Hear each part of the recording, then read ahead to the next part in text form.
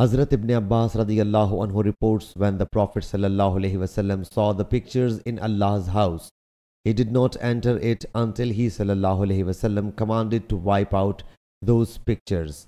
So they were wiped out and he wasallam saw that Hazrat Ibrahim salam and Hazrat Ismail salam have divining arrow in their hands. He wasallam said, May Allah Jalla Jalaluhu perish these people. By Allah Jalla Jalaluhu. They never threw divining arrow to foretell. Sahih Bukhari Hadith number 3352.